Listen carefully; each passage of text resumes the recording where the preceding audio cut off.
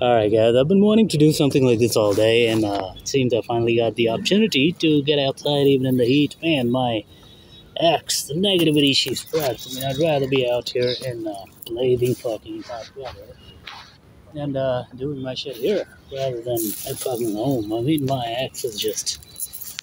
Uh, anyway, in uh, Animal Kingdom, in uh, Animal Kingdom workouts, I talk about many great exercises, many great routines uh, during my own personal workouts, two of my favorites, although they are all great exercises, are bear crawls and duck waddles. So I've shown you how to do the bear crawl before you, you know it's and if you notice me, you'll see a lot of different ways you can do it. So we'll just go for time. It's just a sample. I have no goal in mind. We'll see how we do. Okay, so let's start with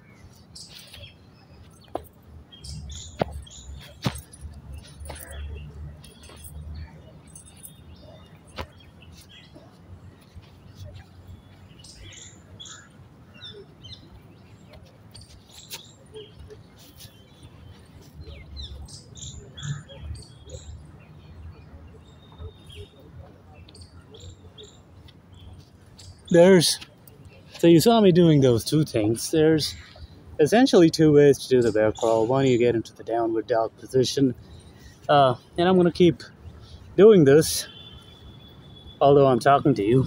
So this way, right, and then you crawl that way, this way. Okay, that doesn't bring the legs into it that much.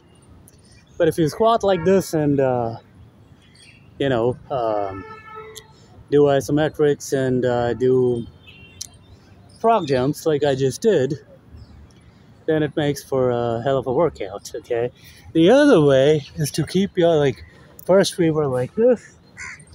The other way is to keep them like this, sort of like a sprinter. That really will tax your legs. You can go slow, you can go quickly.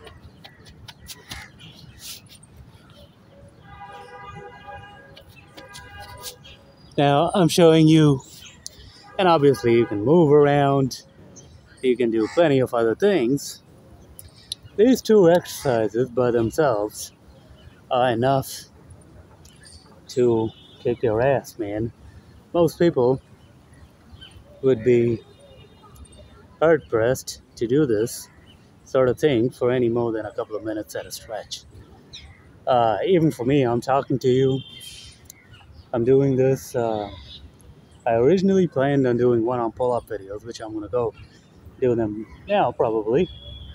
But um, yeah, this sort of thing is tough, man. Bear crawls. Oh yeah, the sun's out, man. I better get out of the. So bear crawls, you can either be this way, like a sprinter, your knee underneath your chest, or as if you were trying to get into a kick up handstand, or you can be like this, you can be like this, and you can move around, you know. You can. Now, I could go a fair ways for purposes of this video. Because the way I've got my thing set up, I, uh, you know, it's a lot simpler if I just. But even if you just go, you know, maybe I don't know, like uh, a few paces or whatever, and you keep doing this. So, for example, in China, in the Shaolin monks, they climb down those steps of the mountain, and I know how tough that is. I've done it for hours a day. They do. They don't just climb. They do uh, bear crawls. They do. They do uh, frog jumps. You know.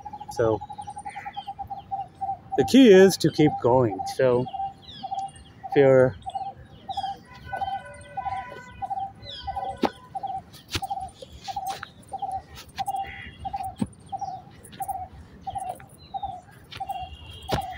okay. Let's say you can do just that much. You don't pause for long periods. You keep going.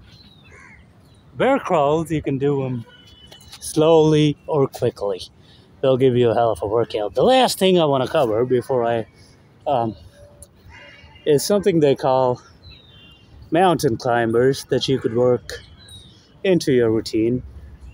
I will do a full web, you know, workout later because uh, I'm really in the mood to get to the hammer grip pull up area before somebody else does.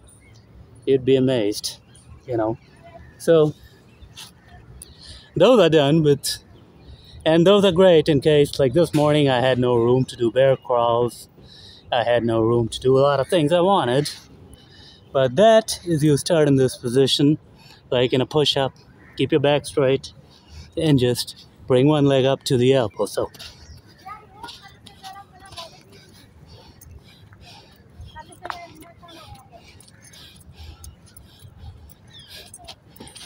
and you keep going that way. That's another great animal like core workout if you don't have uh, the room to do bear crawls. You can mix them up with bear crawls, and uh, you'll get a hell of a workout. That uh, so I wanted to do that, and I'll see you all uh, pretty soon.